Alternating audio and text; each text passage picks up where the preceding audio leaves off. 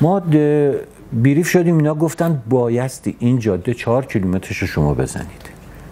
بر نمیگردید. سعی کنید که فقط بپرید زنده بمونید. ما سه ماه دیگه جنگ تموم میشه شما رو برمیگردونیم. بعد ما من خندیدم اینا جان زنگ گفت که زلفقاری چون میشناختن ما رو از پایگاه همدان از چیز نیا آقای هوشیار گفت؟ بله. بعد یه فرگرد دستور رو عمل رو آوردن از قرارگاه خاتم الانبیا. فرمانده قرارگاه خاتم الانبیا نوشته بود در انجام مأموریت احتمام بلیغ گردد. این ملت دیگر طاقت فاجعه هویزه را ندارد. یعنی گفته بودن که باید بزنید. بعدم همه فشار رو من بود. دو تا مأموریت اصلی نیرو هوایی در بیت المقدس انجام داد.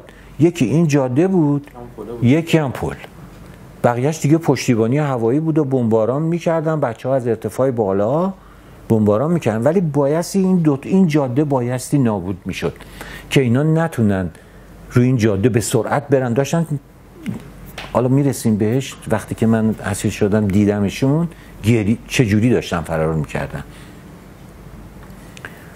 ما بریف شدیم و ببخشید بس صحبتتون یه لحظه الان برای من خیلی جالبه. این که بهتون گفتن می‌زنن میزننتون سعی کنید بپرید بیرون سه ماه دیگه جنگ تموم بعد شما خندیدید خیلی جالبه.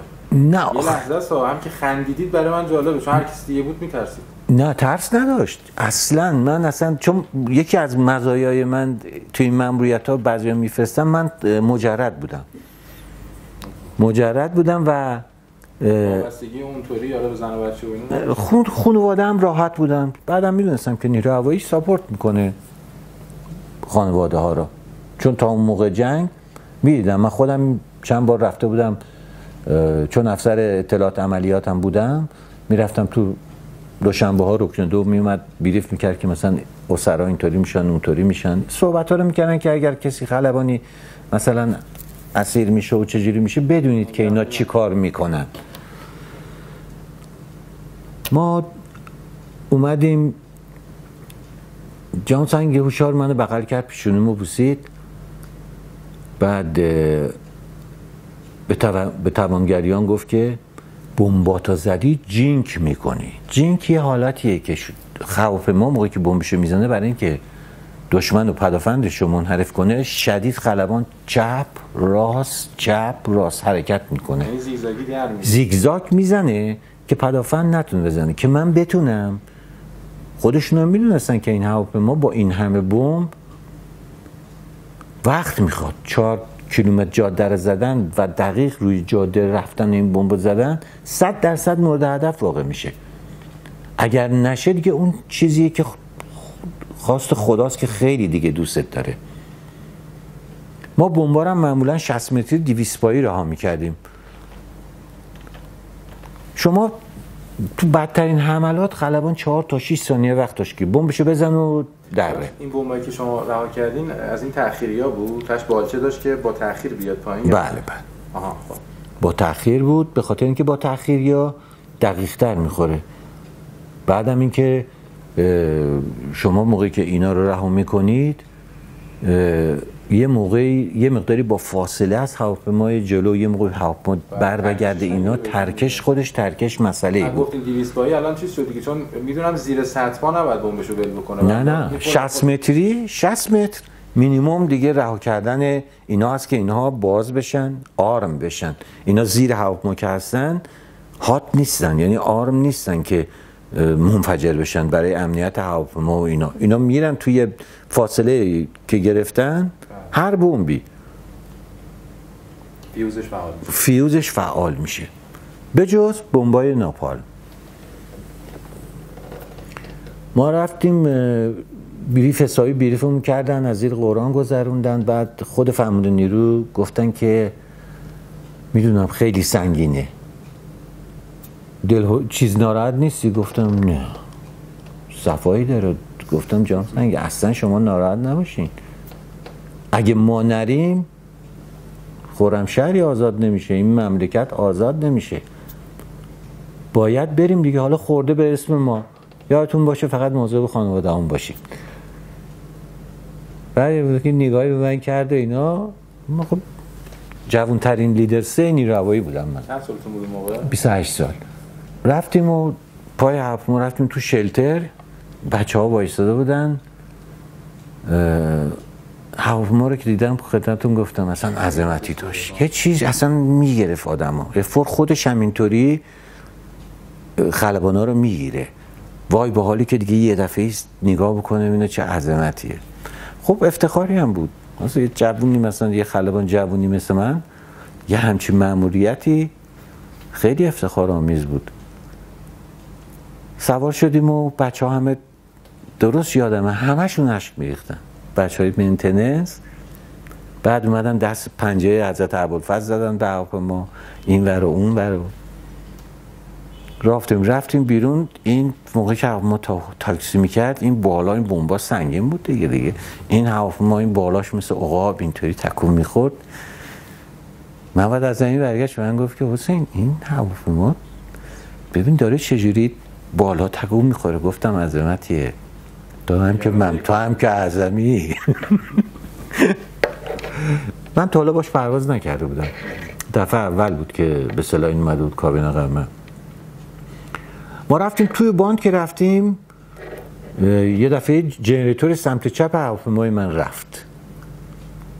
بعد لیدر توانگریان اینطوری کرد یعنی آماده بریم. گفتم بهش علامت دادم standby. دو بار cycle کردم اومد. بعد در همین بین موتورتون یعنی؟ generator ش مال برقه بله. برق چپم به سلام generator سمت چپ رفت. گفتم خدایا. داری علامت میدی نه نه نه اصلا اصلا تو این فازا من نبودم. که خدای علامت میدی لذت میبردم. آدم حرف بزنه منم منم شیطانه. اصلا دوست داشتم. به خصوص معمولیت های سنگین. از این معمولیت بدترم تازه انجام داده بودم. بعد مرسی ازم بعدا در همین بین یه دفعه تا من اینطوری کردم یه دفعه توانگریان گفت شماره سه کجایی؟ گفت که آمادم. گفت standby باشه بعد موقعی که اومدیم سوار شدیم محمد ازمی به من گفت که حسین این من داشتم ejection seat م رو چک می‌کردم این wire loop یه نخی, یه نخی هست که بیاد توی یه حلقه رد میشه. اون اگر درست نباشه eject صحیح انجام نمیشه. گفتم توکل به خدا کن. اومدیم سر باندم اینطوری شد. من گفتم که خدایا این بچه من که خودم فرمونده ولی این یه موقع eject میجه کردیم بلای سرش نیاد. اینا دارید اذیت می‌کنیم ما رو. یه دفعه یادم افتاد که این پورفرزانه شبش گفته که حسین یه ذر از این تربته بده. من من تربت خاک امام رضا بده. من می‌خوام شهید بشم. گفتم بی خیال OK دادیم به توانگریان و موتورا. باز به سلامتی takeoff کردیم رفتیم. حالا این کار شما بی احتیاطی نبود که این حلقه ejector وجود پرواز انجام دادیم. خب maintenance اومده بود چک کرده بود OK داده بود. اینطوری نیست که اون زمانی که روز زمینیم تو shelter هستیم. گفتم بگو maintenance بچه ها اومدن بالا چک کردن OK دادن. اینطوری نیست که من مثلا یه خلبان بخواد واسه خودش مثلا زندگی انسان آدم اون زن بچه دار بود. ما اومدیم تیکاف کردیم بلند شدیم رفتیم.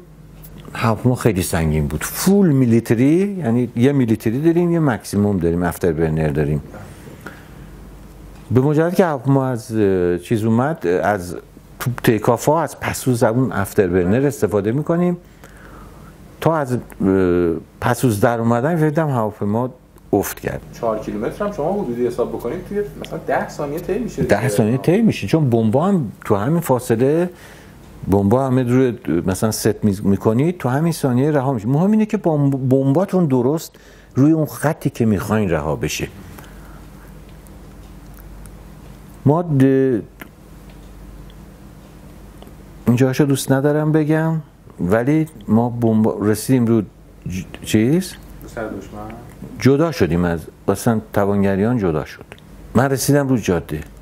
اون که رفت من یه دفعه ای گفتم که خدای به امید خودت.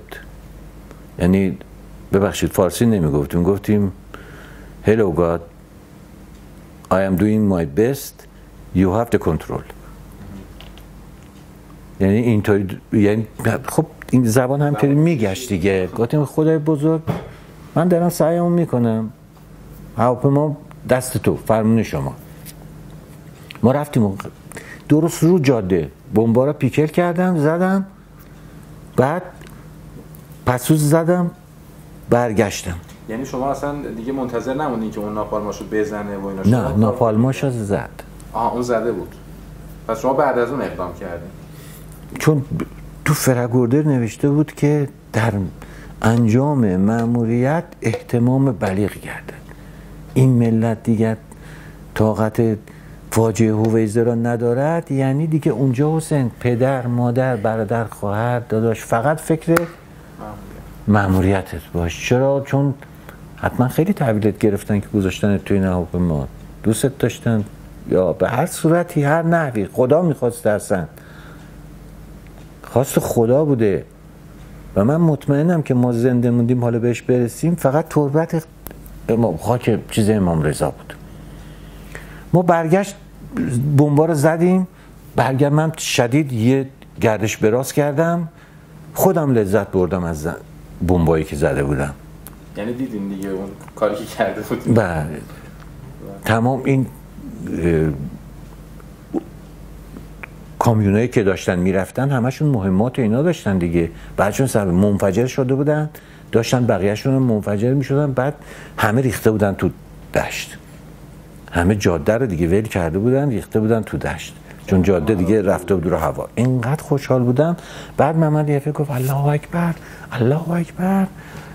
نگاه می‌گفتم نگاه کن حالش بعد برگشتیم برگشتیم به این سمت. یه دفعه دیدم که موتور راست و موتور راست هم آتیش گرفت موتور چپ اوورهیت فهمیدم که با شیلیکا ما رو زدن. شیلیکا با موشک نزدن. چون موشک بزن ما پرت میشه. پرت میشه. بعد چاره دیگه هم نبود. یعنی دیگه جلوتر که می‌رفتم که می‌رفتم تو دلشون. سر جایی که قرار بود دور بزنیم به سرعت گشتم. دیدم موتور راست آتیش گرفته. فاصله در همین گردشی که بودم باز میفه محمد ازمی گفت حسین بچه مسلمانی بود. چیز انجام اسلامی سرپرست انجام اسلامی مراباد بود. الله اکبر الله اکبر حسین آتیش گرفتیم آتیش گرفتیم. گفتم آروم. گفتم آروم. گشتیم. من فایر هندل کشیدم. موتور راست خاموش بکنم. خاموش می‌کنم.